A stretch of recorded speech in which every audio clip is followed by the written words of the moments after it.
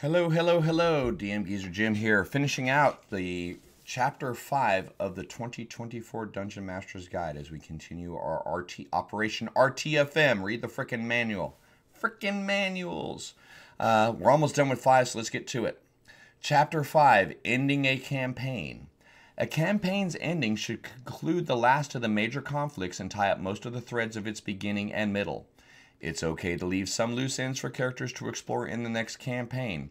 You don't have to take a campaign all the way to level 20 for it to be satisfying. Wrap up the campaign whenever the story reaches its natural conclusion. Allow time near the end of your campaign for the characters to finish up any personal goals. The stories need to end in a satisfying way, just as the campaign story does. Ideally, some of the characters' individual goals will be fulfilled by the final adventure. Give characters with unfinished goals a chance to finish them before the very end. Once your campaign is ended, a new one can begin. If you intend to run a new campaign for the same group of players in the same setting, using their previous characters' actions as the basis for legends is one way to invest your players in the new campaign. Let the new characters experience how the world is changed because of the actions or accomplishments of the previous campaign's characters. In the end, though, the new campaign is a new story with new protagonists. They shouldn't have to share the spotlight with the heroes of days gone by. Ending sooner than expected. This is a short section, isn't it? Uh, ending sooner than expected. Sometimes you run out of ideas for your campaign, or it gets so sidetracked that you have no idea how to bring it to a satisfying conclusion. You might just not feel excited about it anymore, or you might be so excited with ideas for a new campaign that you can't focus on the current one. Any of these might signal the end of your campaign. The best way forward when you want to end a campaign is to talk to your players about it. If you're not excited about the game anymore, it's quite possible that they're not either, and you can change or end the campaign to everyone's satisfaction. Consider the following possibilities player input. If you're running out of ideas for your campaign, your players might be more than happy to supply you with some. Find out what they'd like to have happen in the cam- if the campaign continues. They might give you all the inspiration you need. Switch DMs. One of your players might have so many ideas about the future of the campaign that they're willing to take over as the DM. You can either take over that player character's that player's character or make a new one of your own. Let go of your plans for where the story was going and allow the new DM to have creative control. Transport the characters. If you or another DM wants to start up a campaign in a new setting, if the players don't want to make new characters, Consider having the tr- characters travel through a portal to a new world. Arrange a grand finale. Sometimes to end eh, sometimes an end to the campaign is the right answer. Look for ways to end the campaign with a bang, even if it's earlier than you originally planned. Flip through your campaign journal to see if there are forgotten elements you can resurface for one last hurrah. That's it. That's our section on ending a campaign. It took us all of three or four minutes uh, to, to read through it. Not a lot here, so you get to suffer through some comments for this last part. So I do want to try to wrap everything in step uh, chapter five uh, into a neat little bundle here with my my closing comments. Okay, before we go too far, ending a campaign.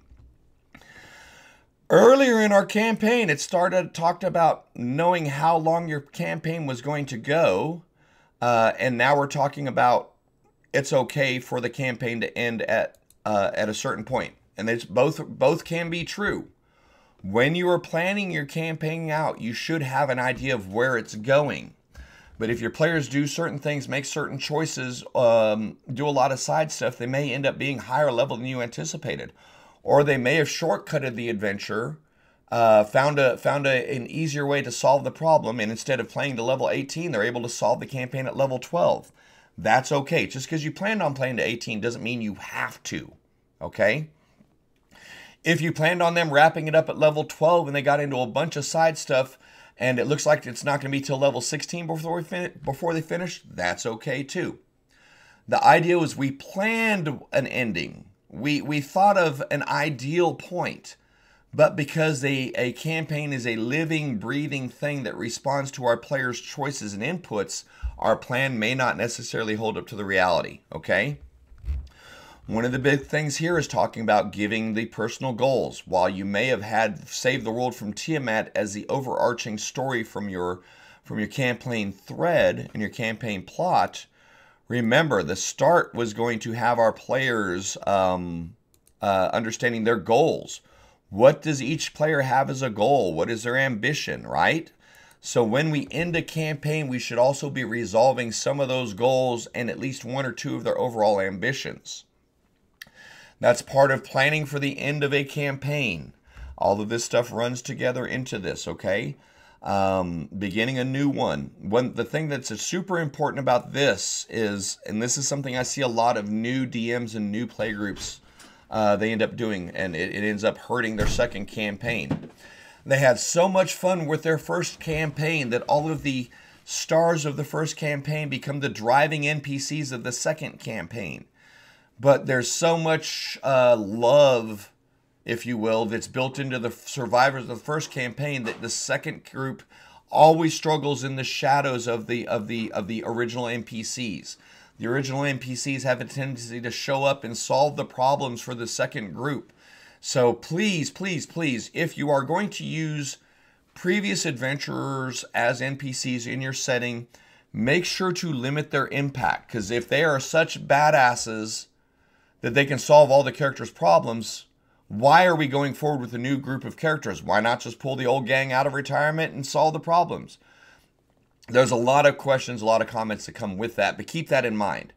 The NPC should be retired into the background. We can pay homage to him. We can say, "Hey, man, there's a statue of you in the group, uh, in the in the in the in the fucking courtyard. Yay to you!" But your new heroes, your current group of characters, are the heroes of the story. Don't want them operating in the shadows of the last group. Be careful with that. I'm telling you, that's something a lot of new groups suffer with.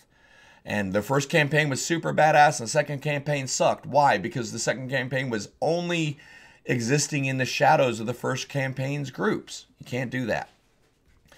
Ending sooner than expected. This is important to be aware of as a GM because it happens a lot, okay?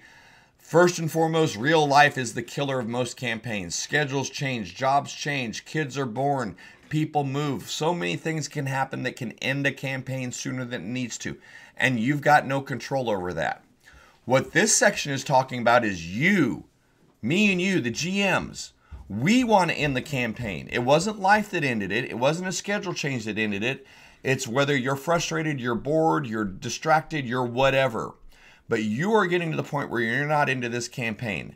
And this statement here is the best way forward when you want to end a campaign is to talk to your players about it. If you're not excited about the game anymore, it's quite possible that they're not either.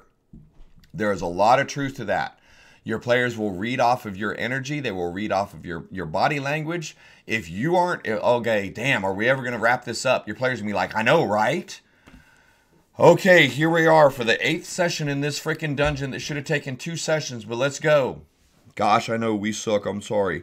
Those little things that you're doing that, that you're portraying to your party, they're going to feed off of. And that can also include being bored of a campaign. So this is great advice. Talk to your players, man. We're not here to waste each other's time. A lot of times the players are only playing at the campaign because they think you're still into it. And if you haven't been into it in two months, they haven't been into it in a month and a half. But they're hoping that there's a plan. They're doing it. Have a chat with them, man. It's okay. It's okay to not finish every campaign. It's okay to not finish it. If if you guys aren't having fun, then don't do it. Because never forget, I'm gonna go to Big Face for this as I finish out the chapter. Everything that we are reading about in the 2024 Dungeon Master's Guide and before the 2024 and in the next year, in, in the next 50 years, D&D Dungeons and Dragons is a game. It's supposed to be something we're doing for fun, okay? If you're running an adventure that's not fun, you need to stop. If you're digging yourself into a campaign that is more frustrating than it is rewarding, you need to stop. Because if you're not having fun as a DM, your players are not going to have fun as much fun as players. You might be really good at hiding it, but eventually they're going to sniff through your bullshit, okay? This is something that we all do for fun, players and GMs alike. When you get to the point where you're not having fun with it, you need to step away. You really need to step away. And I'm not saying quit being a DM, but it might be time to go ahead and put a pin in that campaign. Hey guys, we tried. We, we, we, we worked hard at it, and there were some really cool moments in it, but ultimately it just kind of feels flat. It kind of feels forced kind of feels like I'm dragging you guys through this story. Uh, let's go ahead and let's go ahead and pause and, and start a new campaign. Let's let's do something different, something that sounds more fun. Because you're playing a game to enjoy time with your friends and family, ideally, to build a shared experience together. Everyone at the table, especially you as the DM, needs to be having fun and needs to be involved in the process. So if you need to end a campaign because it's flat so you can do a better campaign, do it. Don't keep that shit on life support for, support for four months just to end anyway. Because that was four months that you could have been having fun in a new campaign. Okay? But there is a flip side to this. If you're playing with friends and family, you have a regular play group, and you start a new campaign every three months and never finish it, they're going to get frustrated with it. You will lose players because the players want to see the epic conclusion someday. And if every two hey man, I'm, let's kill this campaign because they got an, an, an idea for another one that's going to be even better. But what about our characters? Because your character, your players are invested in their characters. Your players have built backstories, they've built connections, they've built relationships with these NPCs, they've bought into your world. And now you're going to rip that world from underneath their, th- their, their feet, throw it away, and make them start a, an, over in a new world every time you get a new idea for a campaign. That is not healthy gameplay for your group either. Okay? You got to find a balance in there. Try to see things through to the end. Try to see things through to a conclusion. But if they're not fun, then step away from it. But the flip side of that is bailing on every campaign after 10 sessions, not a good look either, man. Your players are going to take shit that you're doing serious. So find your balance there. All right, but that's it, man. Chapter 5 was pretty good stuff. Overall, just reiterated chapter 4 took the tools that we learned in 3 and 4 and expanded on the ideas that were presented there to show us that we can use the same basic methodology that we used for an encounter to design an adventure. We use the same thing that we designed for an adventure to design a campaign. And once we get our campaign set up, we get to start looking at designing worlds, designing settings to support the campaign ideas in case one of the settings that exists doesn't do it. So that'll be getting into that pretty soon. Uh, but yeah, this is the end of chapter 5. This is the end of our video. Chapter 5, creating campaigns, ending campaign, and ending a chapter with some comments. Thank you, thank you so much for your time. Thank you so much for continuing along with this thing. If you're new to it, push like, follow, subscribe, jump in. It's chapter 1. We are it's a full-blown audiobook with a little bit of commentary. Um, appreciate you, man. Likes, follows, subscribes. Join us over on, on, on Twitch. If you really want to help a brother out, hit me up on Patreon. Anything we can do to keep him business is good. But more importantly, come back for our next episode. We'll be starting chapter six soon. Thank you for your time. You guys take care.